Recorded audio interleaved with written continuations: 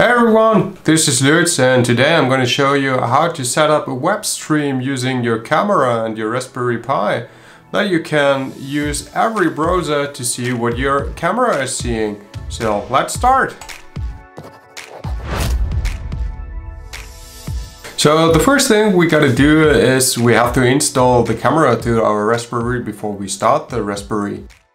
After we've installed the camera, we have to go to the configuration of our Raspberry. We do this typing in sudo raspi config and then we give it the password for the super user. Then we go for interface options, camera, and we enable the camera. And then we close this and reboot our Raspberry. Next thing we gotta do is we have to install the packages we need for our program. So we type in sudo apt install python 3 minus pi camera and also python pi camera. We give the password with super user and in my case, I don't have anything to do because I'm already at the newest version. But if you are not, just perform this installation. So the next thing we gotta do is we have to transfer some small scripts. I will give you in the description of the video. These we need for the streaming of the website. So we type in SCP and the name of the file we want to transmit. So in my case, that's stream.python and we give it the IP address where we want to send it. And then we give the destination of your folders. Then you give your password and the transmission is done. And we do it again for the other file. This name is webstream.service and we give it again the password and then we can check in our Raspberry if the files are there and they are available.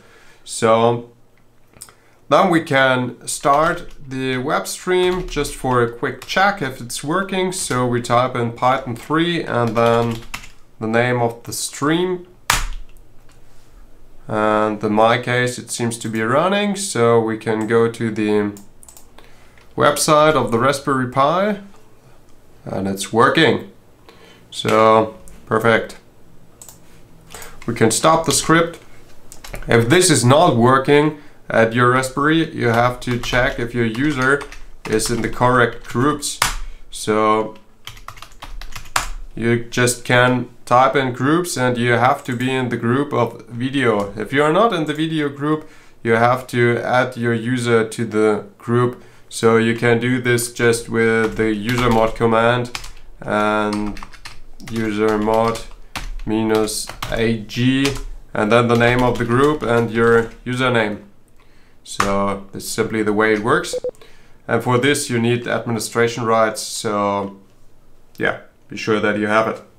What we did now is that we start a website, but we just wanted to start the website that it's running when we start our Raspberry and not just that we have to turn something on.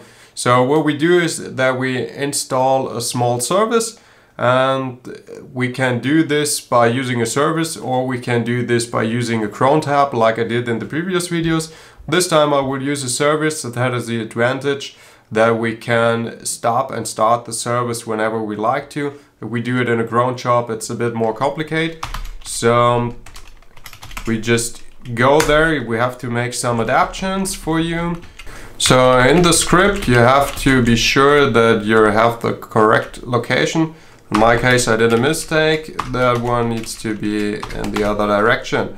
So I will correct this for the script I will give you in the description and then we just write it out and you need to be sure that you have here set the correct username and the location of the script. So if you did this correct, then we can copy the script to the destination. So we do sudo copy and the name of the service. And this is going to the system and system. Here we go. and then we can start the service. This one goes with system control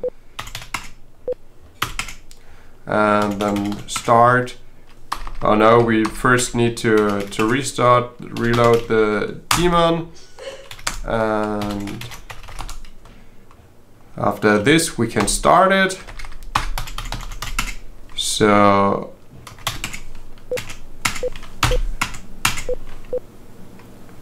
it's web stream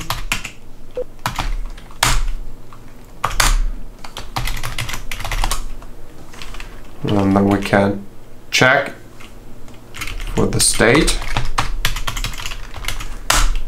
And it's running. So now we can check at our website if everything is working and we see the stream is again here. So now this is running over the service.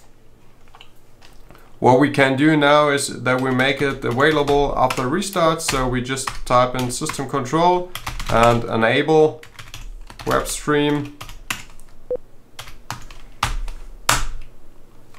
and give it again the permission. And don't do a typo. And now it's available after restart. We can just try it by typing restart. So when you're back in your system we can check if the website is working now and it is.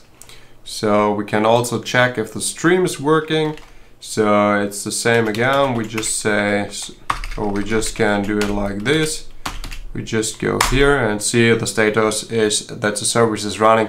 If you want now to stop the service, you can also use the stop command. So it's the same that we just put in stop and the web stream service and give it your password and then the website is dead so you can just turn it on again by using the start command and then it's working. So